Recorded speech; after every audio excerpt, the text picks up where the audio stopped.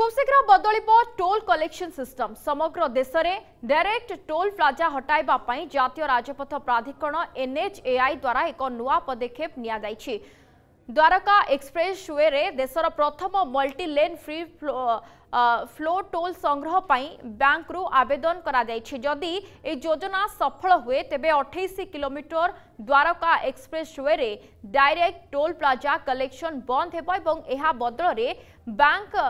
গাড়ির তথ্যকু আধার করে আকাউন্টু toll free কাটব তবে আসন্তা বর্ষে দেশের বিভিন্ন multi lane expressway toll plaza হটাযিব এনে প্রস্তুতি আরম্ভ হয়েছে কেন্দ্র সড়ক এবং পরিবহন মন্ত্রী নীতিন গডকরি এই টোলিং সিষ্টমে ফিল্ড সরঞ্জাম এবং সেন্সর রহব যা যানবাহন চলাচল করুবা তথ্যর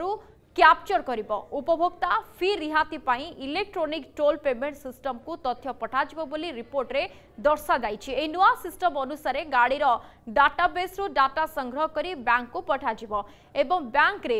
ଫାସ୍ଟାଗ ୱାଲେଟ୍ରୁ ଟଙ୍କା କଟାଯିବ